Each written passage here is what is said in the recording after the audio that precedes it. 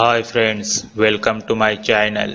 If you like my videos, then share comment on videos. Do subscribe my channel and press the bell icon for a new video notification. When you see a praying mantis around your house, what does it mean? This is a sign of patience, concentration, peace, good fortune, protection, guidance, and spiritual enlightenment.